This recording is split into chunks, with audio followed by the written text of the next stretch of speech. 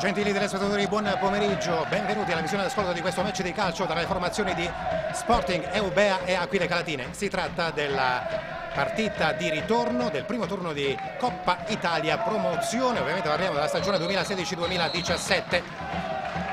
Il match d'andata, lo ricordo, si è concluso con le Aquile in vantaggio per due reti a zero, le marcature siglate da Ottavio Nicotra e dall'attaccante Abdullahi. Ma ecco i due schieramenti partendo dagli ospiti, le Aquile Calatine così schierate. Polessi, Wally, Iannizzotto, Nicotra, Bartoluccio Nigro, Altamore, Commendatore, Abdullahi, Ruscica e Vittoria. Ecco invece la formazione schierata da mister Costanzo, Gandolfo secondo Cucchiara, Favara, Costanzo, Senia, Varga, Vitale, San Martino, Caruso e Navanzino. L'arbitro dell'incontro è il signor Marco Riccobene coadiuvato dagli assistenti Elvira Rizzo e Mirko Cino, tutti quanti della sezione arbitrale di Enna. A seguire la formazione delle Aquile, anche una rappresentanza di tifoserie costituita da circa 30 unità che come potete sentire cercano con i loro cori di incoraggiare la formazione del presidente Aldo Sortino e del direttore generale Massimo Parisi.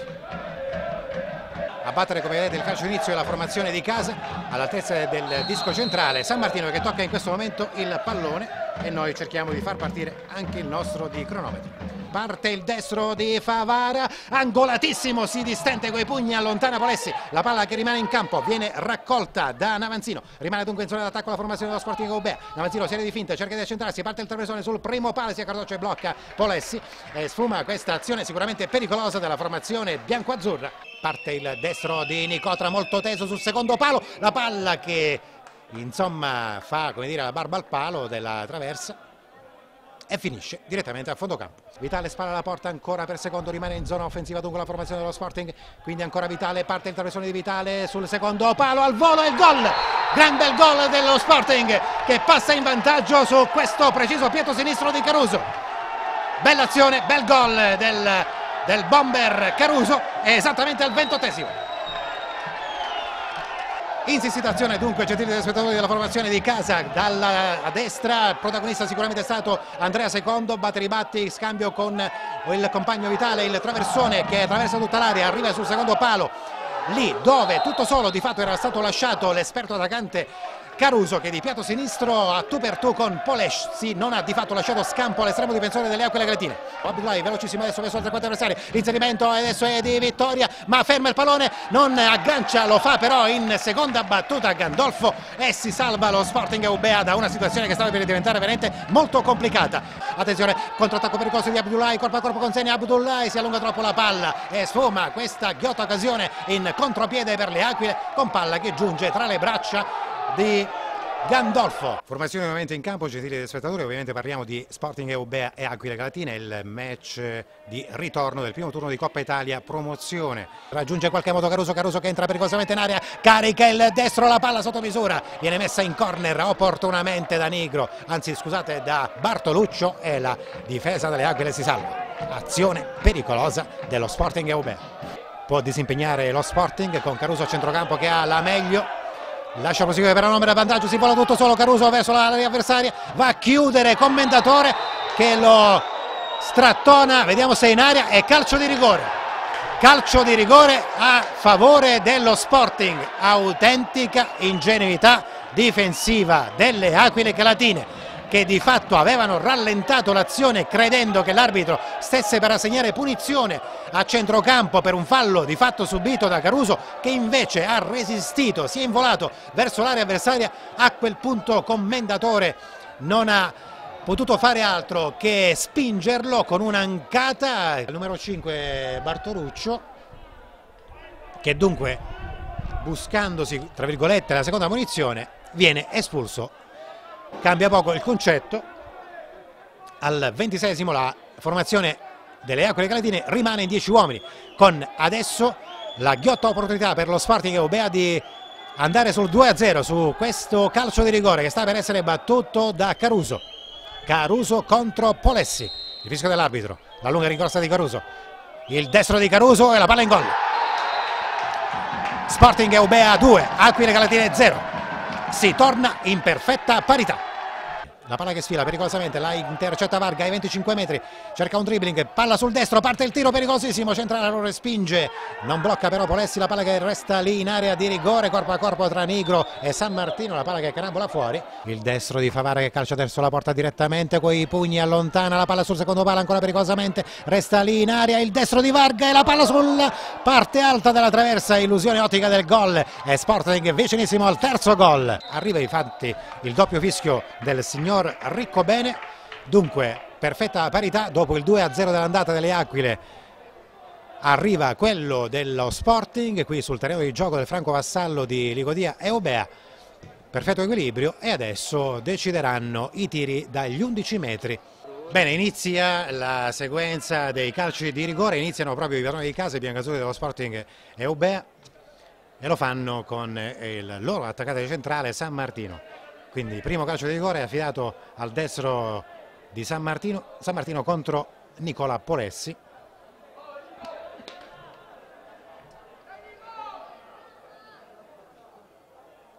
Mentre l'arbitro ha fatto come dire, correggere la posizione dove deve stare fuori dai 16 metri insomma, del portiere dello Sporting. Tutto sembra pronto per la battuta di questo primo piazzato dagli 11 metri.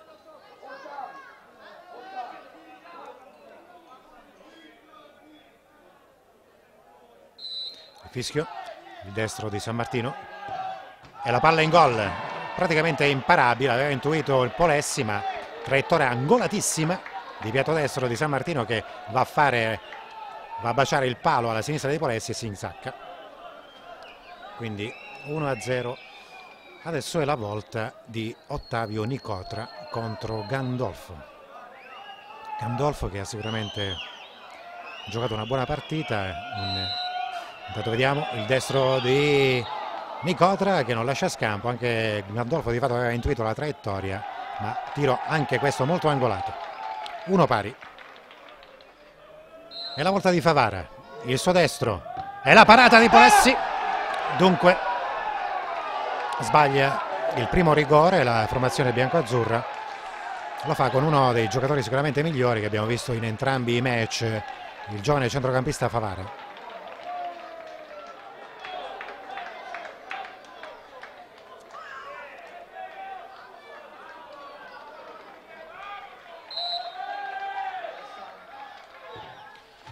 La palla in gol stavolta l'ha messa l'esperto Nigro. Dunque 2 a 1 il conto dei corner. Il conto dei calci di rigore pardon.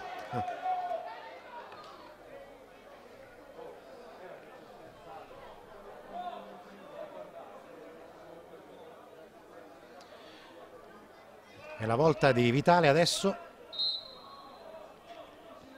il destro spiazza Polessi, battuta forte ma centrale, Polessi si era lanciato sulla propria sinistra e mette in gol. 2 a 2.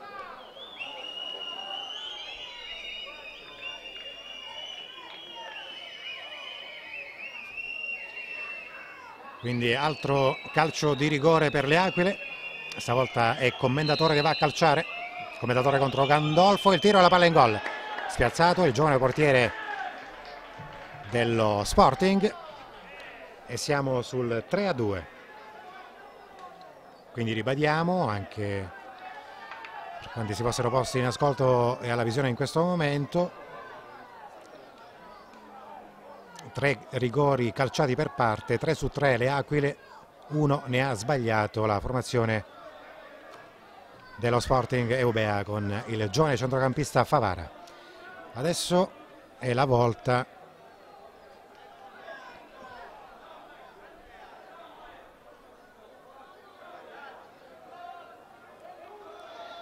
di Senia. Senia contro Polessi. Il destro di Senia e la palla in gol. Serie di finte hanno ingannato Polessi in un certo senso, anche stavolta ha intuito la traiettoria del pallone, ma Allora, calcio di rigore numero 4 per le Aquile Calatine.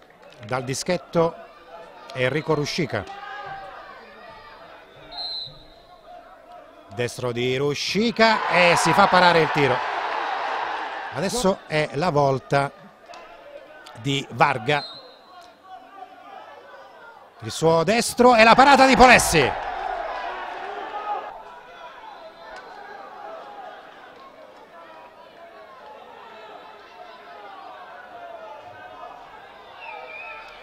La volta di Abdullahi, il fischio, il destro è para ancora Gandolfo. Il destro la palla in gol.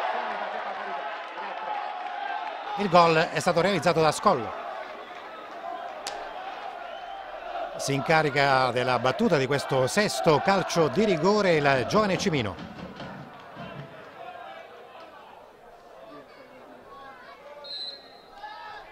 Il destro di Cimino, la palla in gol.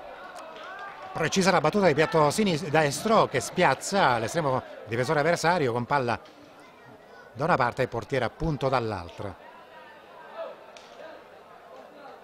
Adesso va, se non erro, Cucchiara, è il numero 3 Cucchiara,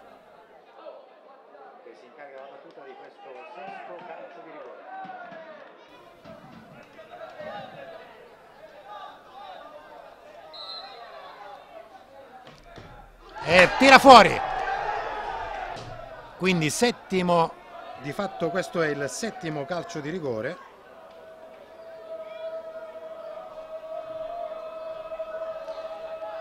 Iannizzotto ha sul piede la qualificazione ed ecco il passaggio del turno, lo guadagnano i giocatori delle Aquile Calatine sulla realizzazione di questa settima marcatura dagli 11 metri effettuata da Iannizzotto mentre si accetta, si accetta attenzione una mischia a centrocampo tra un paio di giocatori con mister Costanzo che ha avuto un duro faccia a faccia con credo Cimino. Adesso insomma cerca di chiarirsi con Samuel Buoncompagni. Non so cosa abbia detto fatto Cimino fatto sa che si è molto arrabbiato mister Costanzo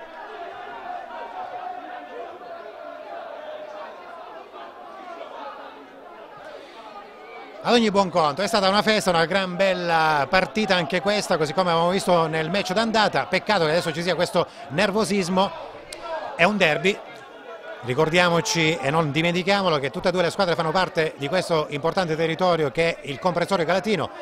E quindi una purtroppo doveva andare fuori dal primo turno, questa è la regola, a stabilirlo sono stati i calci di rigore ma certamente lo Sporting Eubea ha disputato una grandissima partita, tant'è vero che ha ribaltato il 2-0 dell'andata, pareggiando con una doppietta di Caruso. Gol, un gol per tempo al ventottesimo prima e al ventosettesimo poi della ripresa sul calcio di rigore.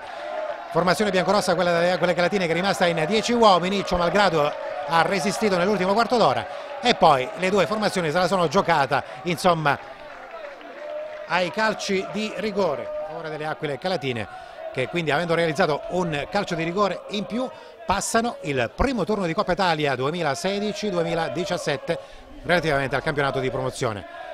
Grazie della cortese attenzione prestata, gentili telespettatori, appuntamento ovviamente alla prossima e la prossima sarà la prima di campionato. Bene, dopo partita di questo match di ritorno, primo turno di Coppa Italia, lo ricordiamo la Sporting Eubea e Aquila Calatine, finito 2-0 dopo i 90 regolamentari, dopodiché si è passati ai calci di rigore dove al settimo di, eh, di punizione massima dagli 11 metri hanno avuto la meglio i biancorossi di Caltagirone.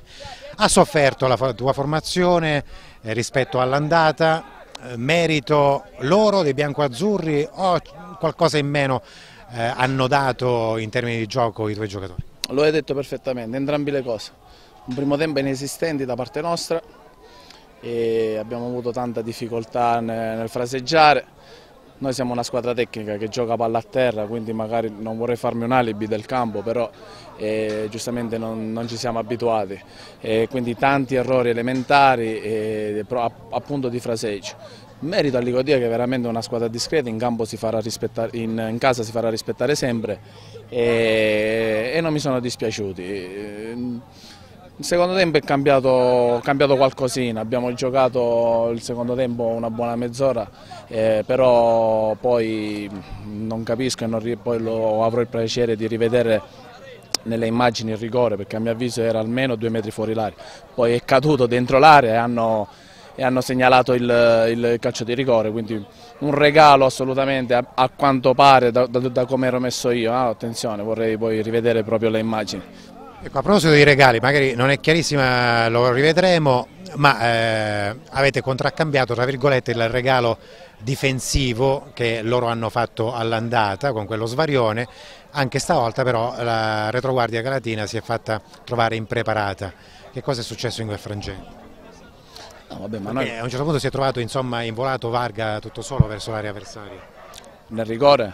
Sì. Era Caruso era Caruso mi sembra che è caduto in aria. Comunque sì, eh, noi dobbiamo, Caruso, sempre, esatto, sì. dobbiamo, sempre, considerare che ci sono gli avversari e quindi di conseguenza eh, lo svarione ci può stare perché se in un 90 minuti eh, se non ci fossero errori le partite finirebbero 0-0, quindi lo svarione ci può stare, però devo, devo tanto lavorare e ancora per quello che voglio io siamo parecchi lontani. Sul piano atletico eh, dei miglioramenti ci sono stati, mi pare che ci siano già numerosi giocatori in palla sul piano proprio fisico, quello che lo è meno e che ha grossa responsabilità in termini di impostazione di gioco è sicuramente Ruscica che non è stato autore di una straordinaria partita, soprattutto nel secondo tempo. È solo questa la ragione, quella, eh, la condizione fisica non al meglio? No, io ripeto siamo molto in ritardo nella preparazione e questo ci penalizza un poco soprattutto nella parte finale. Ruscica, Ruscica, gli ho dato un compito quest'anno che è un po' particolare, eh, siccome è uno tecnico, è intelligente tatticamente, tecnicamente deve, deve, essere servito molto ma molto di più. Se Ruscica, ma così come un trequartista eh, un, normale, insomma, qualsiasi trequartista se non viene servito, se non viene messo spesso in causa eh, gioca poco ed è quello che è successo oggi. Adesso dal punto di vista di mister, oggi anche giocatore, difensore centrale dello Sporting Eubea Samuele Costanzo, dicevamo prima con Samuel Boncompagni della importante prestazione della tua squadra, il risultato parla chiaro, il 2-0 che ha riequilibrato eh, le sorti di questa qualificazione, poi decisa dal dischetto, credo che tu abbia poco da rimproverare ai tuoi, ma volendo cercare il pelo nel luogo, che cosa c'è che non ha funzionato? No, no, no, no, pelo nel no.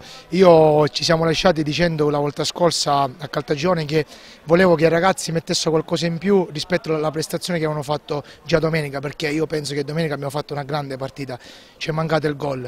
Oggi abbiamo messo quello che abbiamo messo domenica scorsa, siamo stati fortunati a sbloccare la partita, poi eh, penso che abbiamo, ci siamo sforzati anche oggi di giocare a calcio, abbiamo creato tanto, abbiamo messo la partita un'altra volta in pari e poi all'ultimo l'episodio con Varga che ha calciato fuori, questa poteva essere diciamo, la ciliegina sulla torta, però sono felicissimo, veramente sembrava una, una banalità, però sono veramente contento di quello che abbiamo fatto oggi, perché domenica ci aspetta il campionato e quindi è la giusta mentalità per affrontare domenica la partita.